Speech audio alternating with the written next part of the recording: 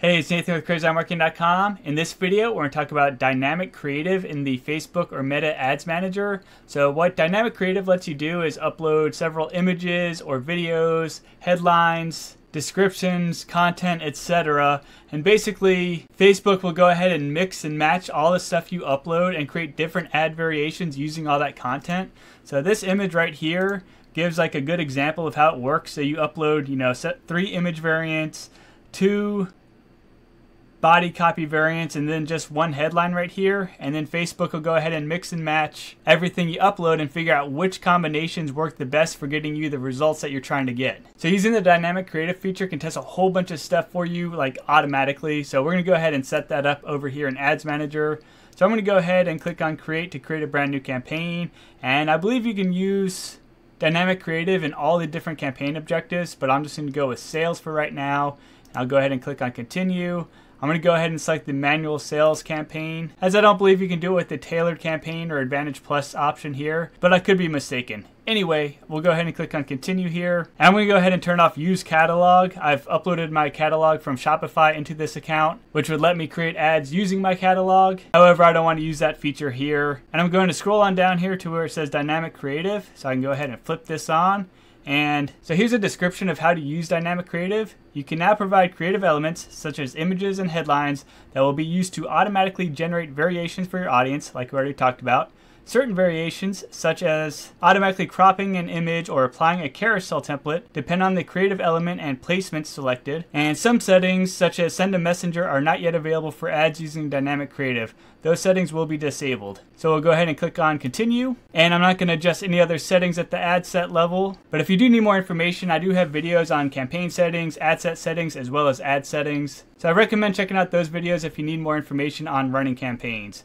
But we're going to go to the ad level now, and we're going to go through the process of setting up our dynamic ads. So I'm going to go ahead and connect to my Facebook page, so my SEM training page. If you're going to be advertising on Instagram, I recommend connecting your account, so that way you can get comments on your ads as well as respond to those comments on your ads. Whereas if you use your Facebook page to run ads on Instagram, you won't be able to reply to people's comments. And also, nobody can go to your Instagram profile and follow your account. So if you're advertising on Instagram, you definitely want to go ahead and set up an Instagram account. Moving on here, so we have our ad set up now. So our creative source, and we're going to be manually uploading. And we have the format here, so we're going to use single image or video. And I'll have another video on the carousel format. So if you're interested in that, just check out my channel. I recommend leaving this turned on, as it can increase your results. But moving down here to add creative, which is what we're focused on right here. So since we're using dynamic creative, we can upload 10 images or videos to be used in our ad. So I'm going to go ahead and upload a couple images real quick. So let me select images.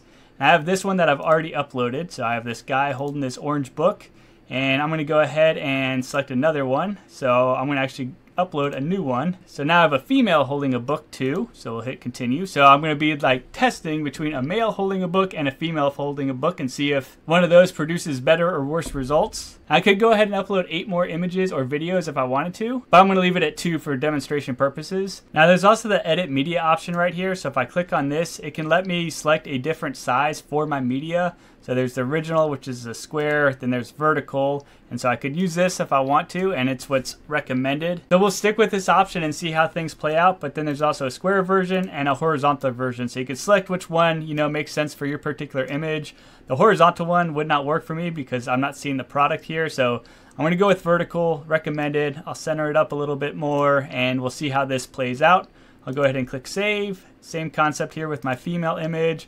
We'll go ahead and select the vertical one and we'll center it a little bit more and we'll go ahead and save it. And then it gives us the option right here to optimize creative for each person. So vary your ad creative and destination based on each person's likelihood to respond. Since we're using dynamic creative, I'm going to go ahead and leave this on and let Facebook's algorithm work its magic. All right, now we have options for primary text, headline, description, and website URL. I'm to go ahead and turn on this ad preview right now so we can kind of get an idea of how our ads are going to be looking.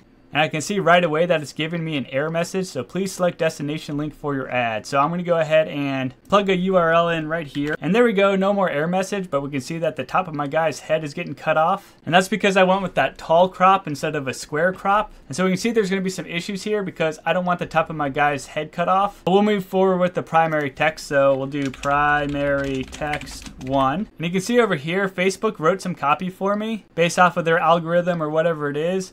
So if I click this plus button, usually it'll add it right over here, but for some reason it's not doing that right now. So I don't know if there's just a temporary glitch while I'm filming. But anyway, I often find that their pre-written text is not always the best, so it's not that big of a deal. And I could hover over it to see what it's saying anyway, and I could type it out if I want to manually. But I'm gonna go ahead and add another text option, so I'll do primary text 2. And you can see over here on the right hand side where this primary text is showing up. And just so you know, you can go ahead and also put like spaces in here. So if I wanted to throw like a link to my website in the ad itself, I could go ahead and do that just like that right there. Now headline, so this would be our headline one, and I'll add another headline option, headline two. And then, and so I can see on the ad preview, my headline goes right here.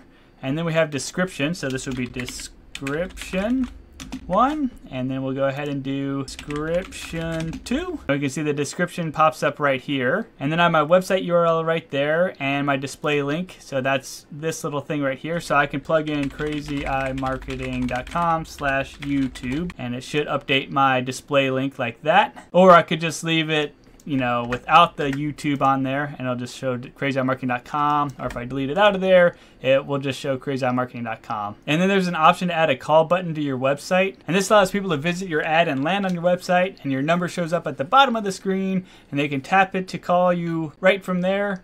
And I'll have another video on this call feature. Because it's a little out of the scope of this particular video, up next we have call to action. So that's this button right here. So I have learn more and maybe I'll go ahead and do uh, about order now. And scrolling on down, we have other tracking. So we want to go ahead and make sure that we're tracking our events. So we'll do website events and make sure that I'm tracking my pixel right here. Now, if for some reason you're having issues, you can come back to the ad set level and make sure that you have your conversion set for website and your performance goal selected and your pixel right here.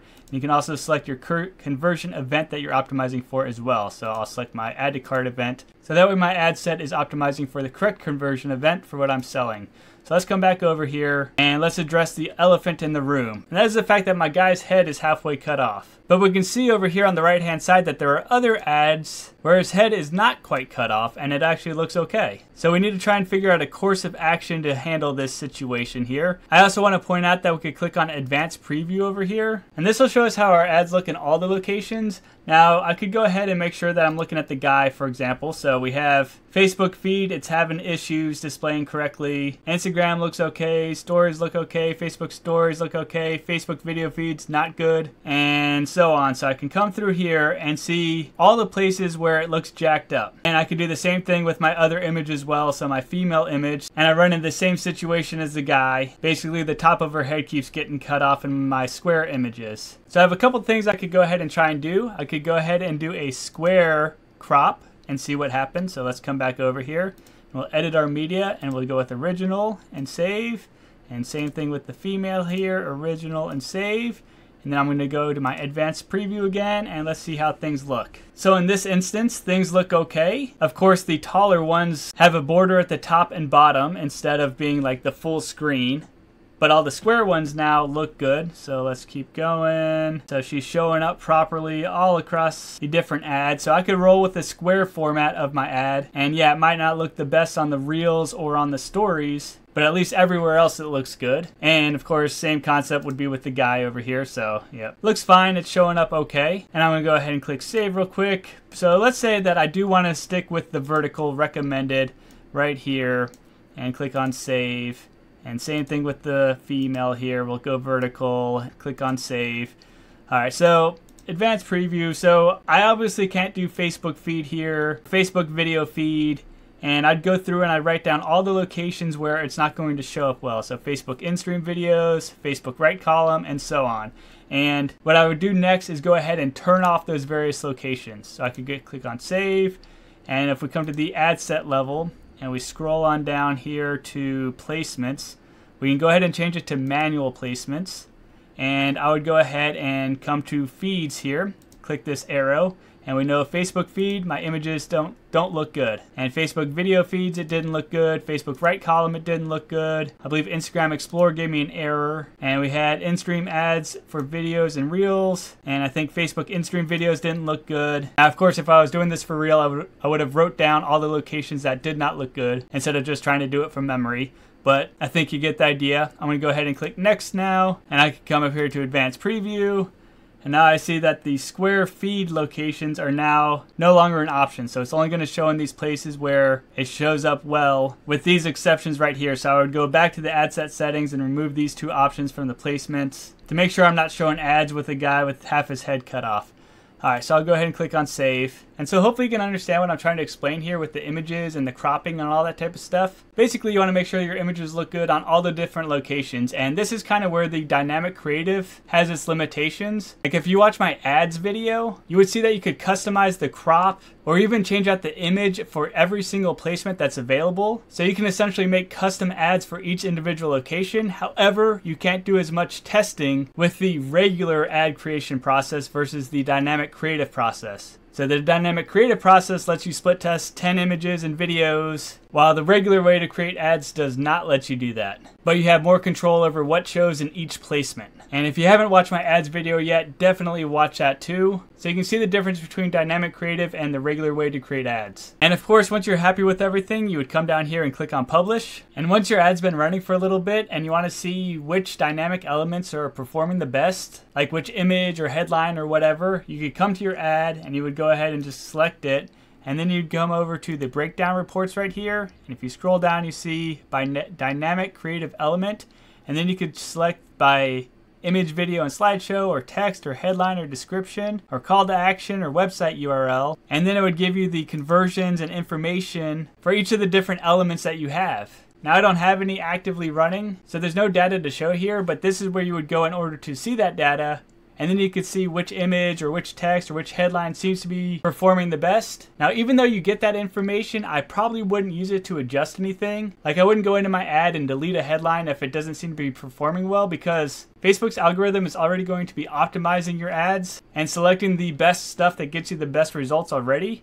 So if you go in there and you start tweaking things, you could throw off the algorithm and it could take a few days to reset. So when you go in here and you figure out which elements are performing the best, just take like a note of it. You can use it for new creative later down the road. But I wouldn't manually go and tweak anything based off of what you see in these breakdown reports. And so that's it for this video. Hopefully you found it helpful. If you did, I appreciate any sorts of likes, comments, subscribes, and or check out crazyeyemarketing.com. And I hope you have a great rest of the day.